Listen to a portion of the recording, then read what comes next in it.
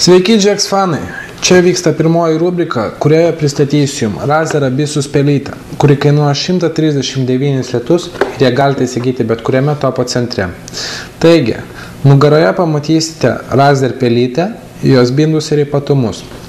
Atvertus dar kartą pamatysite Razer viruko aprašymą ir parašą, o dar kartą apvertus pamatysite Razer ypatumus vėl. Tai yra bindai, mygtukai ir sensorius ir DPI. Atsidarykime vidų.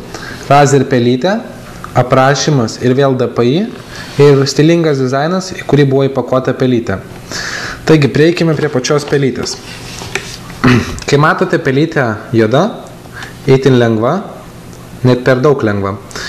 Turi Razer ženkliuką, mėlyna visą laiką šviečia vos įjungtas USB. Vienintelis pliusas tai yra, kad turi USB jau, čia yra didelis pliusas. Tai yra du bindai, yra DPI ir HS. Turi trys mouse klikus, tai yra vienas, du ir trys. Pabandykime ją pavaldyti ant pado. Iš tikrųjų, jinai labai greit nejuda, nes padas yra pritaikytas Control Edition ir pelė nėra tokia labai judri. Iš tikrųjų pritaikyta aimui, tokiam lengvam. Ir nežinau, labai švelni, tiesiog labai malonu liesti ir šaudyti.